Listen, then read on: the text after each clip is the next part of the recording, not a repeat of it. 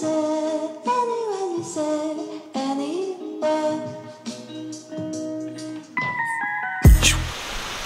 morning guys and welcome back. So today we're going to make the inside of the Jeep a little bit cooler.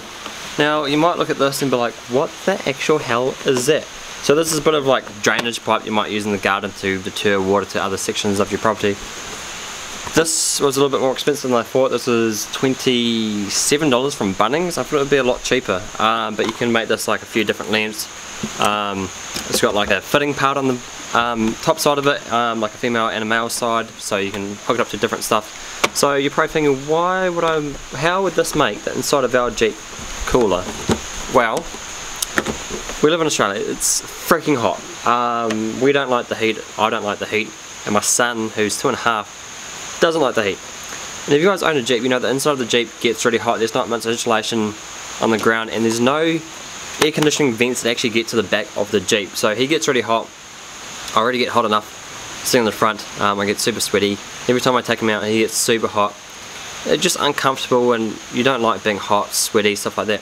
Um, this could also be used if you're camping, if you're sleeping in the back of your Jeep, stuff like that, on those hot, hot nights. Um, or you're just chilling in the back, having dinner, you want a bit of a cold breeze, stuff like that. So what the idea behind this is, I actually saw this on Instagram, and I messaged the person, they haven't got back to me, but I thought it was a great idea. So, let's open the Jeep and I'll show you what's going on. So inside the Jeep you've got our vents. And Jeep really makes Jeep makes a really nice vent. How it's nice and round, um, it's great to fit like a cold drink and stuff in the vent if you want on a summer day. Uh, you just twist it and it pops the vent out. You can kind of clip in what you want. It's great. Um, and there's a pipe inside there as well.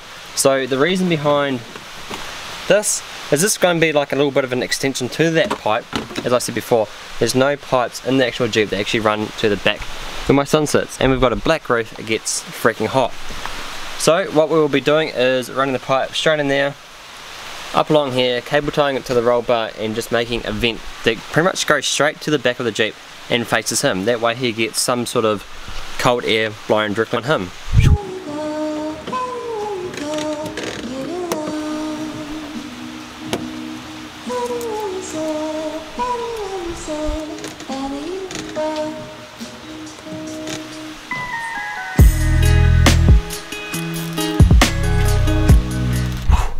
Okay, so that's pretty much it for today guys. The only thing I want to comment on is how intrusive it is actually for the passenger inside the car and how it sits down a little bit low, lower than I would have liked, but it sits absolutely perfect um, directly onto my son's head.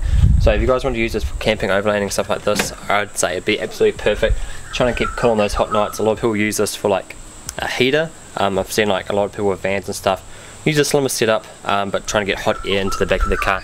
They've got a direct port of hot or cold air, so it's pretty much the same thing, but it's a great little tip for people that want to stay cold. Well, for the if people have kids in the back of their car, it's great for them to stay cold. We've tried it blows direct hot, uh, cold air um, onto them, so it's absolutely mint for that. Um, so anyway, I can cool them down on those hot days is mint. That's pretty much it for today, guys. If you liked this video, smash that like button if you haven't already. Sub, if you haven't already, subscribe. But thank you guys so much for watching. I'll see you guys next time.